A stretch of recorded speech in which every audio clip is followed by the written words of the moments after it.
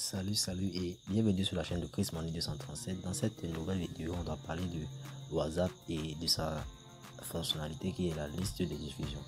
Et généralement, j'attends des messages très fréquents des personnes qui se demandent c'est quoi une liste de diffusion, comment faire une liste de diffusion. Bref, c'est l'objectif de cette vidéo. C'est l'objectif de cette vidéo de vous montrer comment faire une liste de diffusion. Déjà, c'est quoi une liste de diffusion?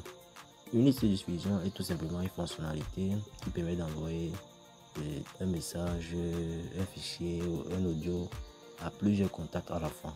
Et il faut savoir que ce qui différencie la liste de diffusion des messages, c'est que quand vous envoyez euh, un message, un fichier ou bien quoi dans une liste, dans une liste de diffusion, le message va directement individuel et va directement et individuellement à chaque personne.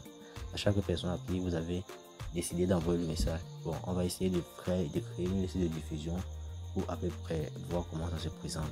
Bon, on va aller dans notre WhatsApp.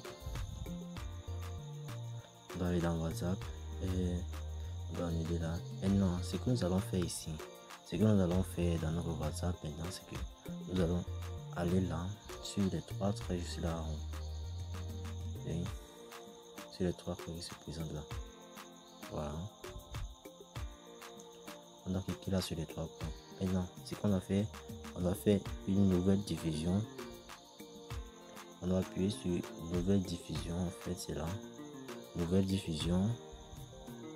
On appuie sur la nouvelle diffusion. Maintenant, une fois dans la nouvelle diffusion, ce qu'on doit faire, c'est sélectionner les contacts. Sélectionner les contacts des personnes qu'on veut, euh, des personnes avec qui, à qui on veut partager en fait le message. Là, on va juste maintenir, on maintient sur les contacts, on appuie, on sélectionne, on sélectionne, on sélectionne. Bon, et on doit juste cocher sur, sur la barre bleue, sur la barre verte en je pense c'est tout. Maintenant, si j'envoie le message, disons salut, le message ira individuellement à chaque contact ça ira direct individuellement à chaque contact. C'est un peu ça. C'est ça la particularité en fait. Bon, le, message ira individuellement à chaque personne et il y aura un retour individuel aussi. Bon, chaque personne qui j'ai envoyé salut me, me répondront sur, sur moi en fait. Voilà. Je pense que c'est tout pour cette vidéo. Si plus difficile, n'hésite pas à t'abonner et de cliquer la cloche de notification pour ne rien rater de nos prochaines vidéos. On se voit à la prochaine.